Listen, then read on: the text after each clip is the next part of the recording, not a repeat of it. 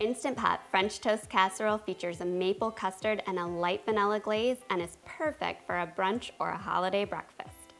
Hi mindful moms and dads, Kristen here. As someone who suffers from a chronic disease, I believe homemade is best, but it doesn't need to be complicated. Today, I'm gonna share with you a request that you guys made for me.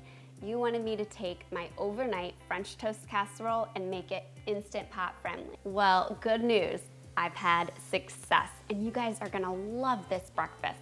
It makes a delicious casserole to prep the night before and then use your Instant Pot to cook quickly and everybody can sit down and enjoy a delightful, rich French toast casserole. Really, who doesn't love French toast casserole? So let's put on our kitchen capes and make Instant Pot French toast casserole. Now the first thing you wanna do is make sure that you have a seven by four inch cake pan because we need to cook our French toast casserole pot in pot. I have a dried out baguette here that I'm cubing up. You want about eight cups of bread cubes. You could use brioche bread, you could use raisin bread, you could use whole wheat bread, you could use French bread, you could use any bread that you like. And then if your bread is not already dried out, you wanna spread it onto a sheet pan and then just pop it in a 300 degree oven for 10 to 15 minutes.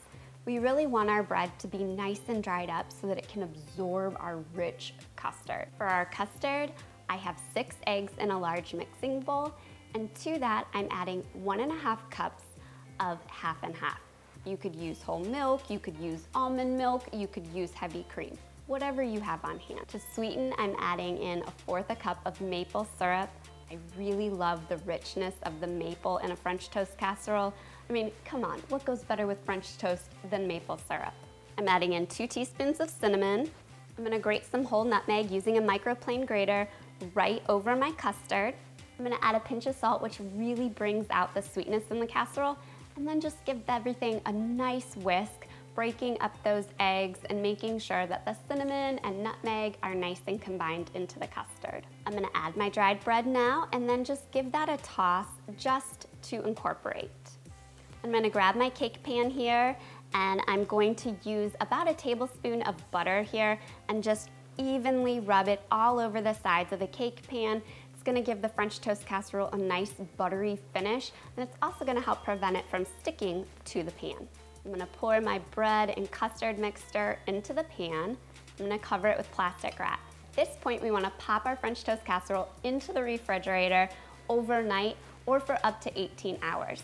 That's gonna give the bread time to absorb all that custard. Plus, anytime you can make breakfast the night before makes entertaining at breakfast time or brunch time or for the holidays that much easier. Now in the morning, we're ready to remove our French toast casserole from the refrigerator, remove the plastic wrap, then we wanna cover it with foil, which will prevent the condensation from getting into our French toast casserole and making it really soggy. We wanna add in one and a half cups of cold tap water to our inner pot. Wanna place in our rack and then we wanna place our cake pan into our Instant Pot. Pop the lid on our Instant Pot.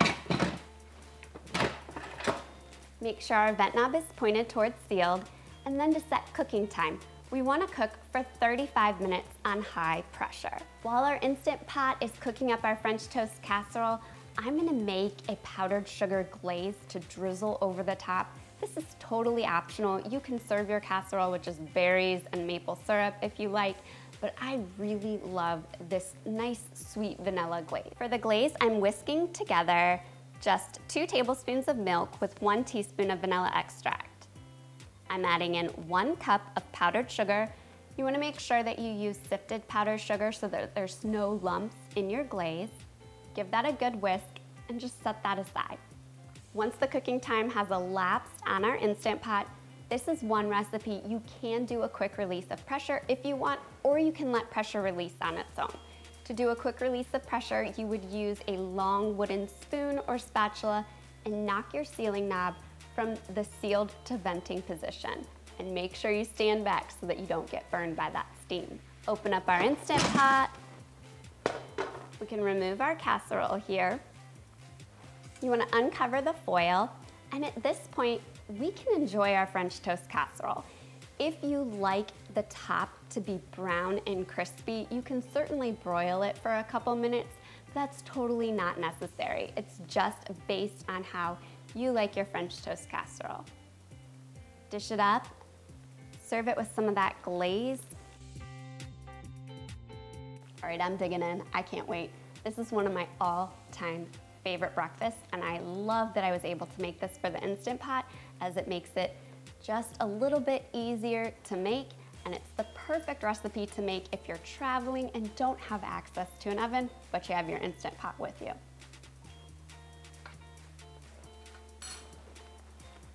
Mm. The maple knocks it out of the park. So much better than using granulated or brown sugar because the rich maple flavor really gives this French toast casserole a French toast feeling to it. And the cinnamon and nutmeg, mm, it's just delicious. This French toast casserole makes a perfect breakfast, but in my next video, I'm gonna share with you three egg recipes that are also home runs in the breakfast department. Until then, happy cooking.